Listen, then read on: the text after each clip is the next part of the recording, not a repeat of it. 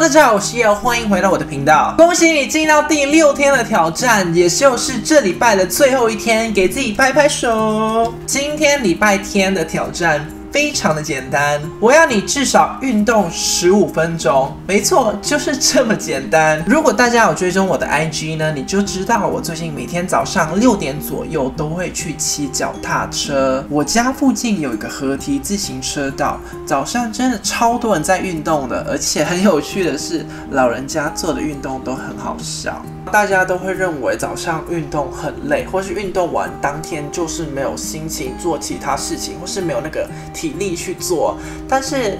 事实上是相反过来耶。当你早上去运动，你就可以感受到一股不知道哪里来的能量，而且当天你也会很有精神的去完成你该做的事情。所以呢，因为这样我才持续骑脚踏车接近三个礼拜了。今天的挑战很简单吧？去运动运动啦！我希望你从这个影片开始，可以每天持续运动，至少十五分钟也好。订阅频道，继续跟我三十天改变自己。然后，如果你已经订阅频道了，记得在订阅钮旁。边有个小铃铛，对不对？帮我按下去，这样明天我上传影片，你才会收到通知知哦。然后在下面留言告诉我你想说的话，然后我们明天见啦，拜拜。